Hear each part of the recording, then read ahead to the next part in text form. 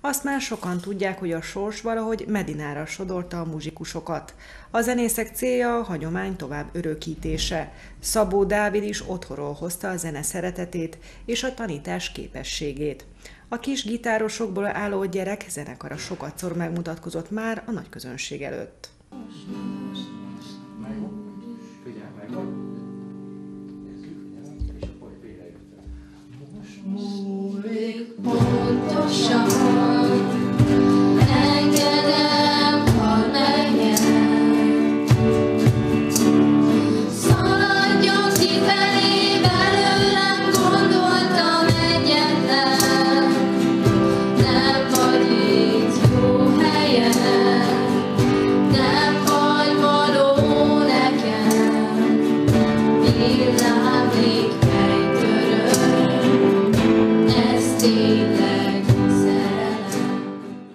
Medinán kis túlzással mindenki tud valamilyen hangszeren játszani, és ez nem csak az idősebb korosztályra vonatkozó megállapítás. A zenélni tudás hagyománya öröklődik generációról generációra.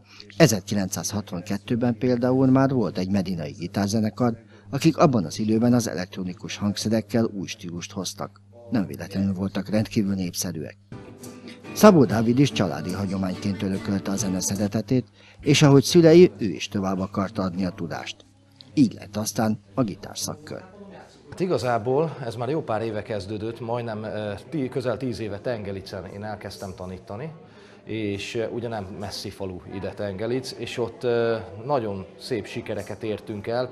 A, a helyiek nagyon jól fogadták, a gyerekek nagyon jól véleményezték, hogy, hogy van egy ilyen szakkör, és Medina úgy gondolta, hogy hát nem maradhat le, tekintve, hogy ennyi zenészt tud magáénak, és a jövő generációjára is gondolni kell. Egy ilyen családias, szakkör jellegű, mondhatni, hogy ilyen kis klubszerű gitárórák vannak nálunk. Mindenképpen a zenetanulás az ne, ne olyan tanulás legyen, mint amit az iskola hordoz magában, hogy egy ilyen kötelező érzetet hozzon magával, hanem mindenképp egy olyan, hogy szívesen gondoljon a gyerek rá, hogyha a hangszerére néz, és mindig azt mondja, hogy azért megy el egy gitárszakkörre, vagy azért veszi a kezébe a hangszert, hogy fellélegezzen, kikapcsolódjon. Igazából az az én gondolatom, hogy az, hogy az akkordok, a harmóniák milyen dalokon keresztül másznak a kezükbe és a fülükbe, az a, majdnem mindegy, az a lényeg, hogy a zene mellett legyenek, és közben azokat az akkordokat később, ha más sorrendbe fűzzük, már másik zeneszám fog kialakulni, ez már az ő dolguk a jövőben, de az biztos, hogy mindig jobban szeret az ember olyan zenét játszani, ami az ő kedvence.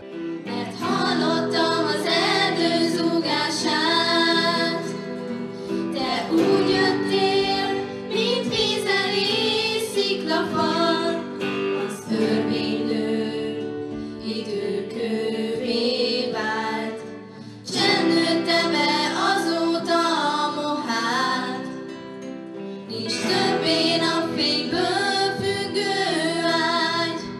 Godó Gabriela alapító tagja és húzó embere a zenekarnak. Mikor azt kérdeztem tőle, számára mit jelent a muzsikálás, röviden csak azt mondta. Nagyon sok dolgot lehet megtanulni, és nagy, rögtön első kézből kapod az információkat, hogy mi hogyan történik. Um, rengeteget, rengeteget rengeteg olyan dolgot tudsz megtanulni, amit lehet, hogy mondjuk máshol nem is. Rengeteg információt tudsz megszerezni olyan olyan helyekről, amiről máshonnan nem, és természetesen olyan dolgokat tanulsz meg, amik egyszerűen fenomenálisak. Gabi ezt is elmesélte, hogy Dávid fantasztikusan jó tanár, és nem tudnak olyat kérdezni vagy kérni, amire nem tudná a választ. Legszebb a zenében, hogy ennek mindig üzenete van, és a szíven keresztül a lélekhez, vagy a léleken keresztül a szívhez. Legjobb, gyorsabban jutnak el azok az üzenetek, amit ti fogtok játszani. Néhányszor legalább próbáltok be, én sok sikert kívánok nektek az életben is, hogy kísérje el az egész életeteket, és adjátok tovább is minél több embernek. A település polgármestere Vén Attila igazán autentikus a kérdésben, lévén maga is muzsikus. Így nem véletlen, hogy a szívén viseli a zenekar sorsát.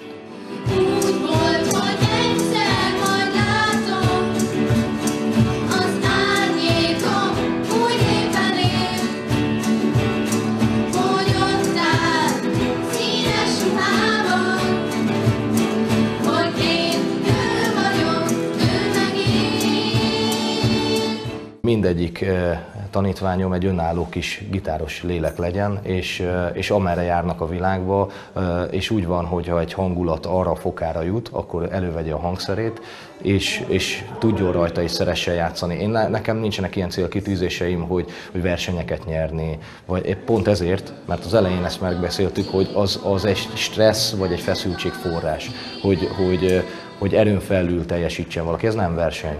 Én nem csábítottam senkit. Mindig jönnek és felkeresnek, és pont is ezért fontos például az ilyen nap, mint a mai, hogy, hogy azt lássák az emberek, akik eljönnek, hogy szeretnék, hogy ezt a lehetőséget megadják a saját gyereküknek is, hogyha eléri azt a kort, hogy részesei legyenek egy ilyen élménynek.